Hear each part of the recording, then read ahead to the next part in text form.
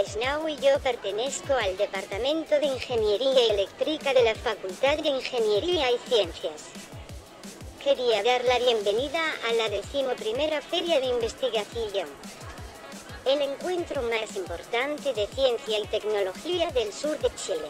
Ciencia, tecnología y conocimiento. Así se vivió una nueva versión de la Feria de Investigación de la Universidad de la Frontera, la cual reunió a estudiantes de enseñanza básica y media de la región en torno a las innovaciones lideradas por la Casa de Estudios. ¿A ti qué es lo que más te llamó la atención? El, el tema de las plantas porque las plantas me gustan muchísimo y como nos ayuda en el medio ambiente.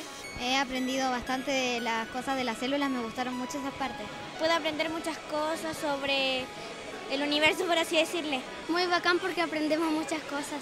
A mí lo que más me gustó fue eh, esas cosas de las bacterias, de los... De los de las hongos y todas esas cosas. Esto es la gran oportunidad que tenemos como universidad de dar a conocer nuestro quehacer científico en todos los ámbitos, en todas las disciplinas que nos hacen converger en un punto único, que es mostrar, como te decía, nuestro quehacer a toda la comunidad y con particular énfasis a todo lo que son nuestros estudiantes que son el futuro de nuestro país en cuanto a lo que es la investigación y desarrollo.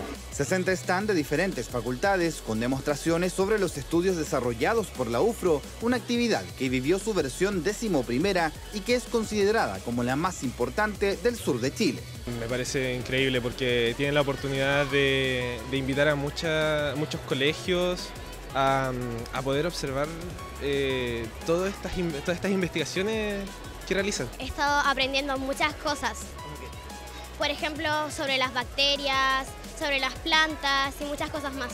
Eh, me, llama mucho la atención el material que tienen. Es muy bueno, la verdad, porque además de lo que ellos nos explican, el material nos ayuda a comprender más lo que ellos están explicando. La idea es acercar, y el corazón de este evento en realidad, es acercar a todo lo que son nuestros jóvenes a una investigación de una forma entretenida, de una forma de motivarlos a que ellos se interesen por cosas que en definitiva tenemos que hacer llegar a la comunidad, ya sea de ciencia básica o de ciencia aplicada. Es dar a conocer a la comunidad regional y a la ciudad de Temuco que realmente en el sur de Chile es posible hacer ciencia, es posible de crear conocimiento nuevo desde 2006, la Vicerrectoría de Investigación y Posgrado de la UFRO permite generar políticas e instrumentos para focalizar recursos en áreas de excelencia vinculadas a la investigación, posgrado, cooperación internacional y transferencia tecnológica, promoviendo además la innovación al servicio de las personas. Hay una línea que es investigación, desarrollo e innovación,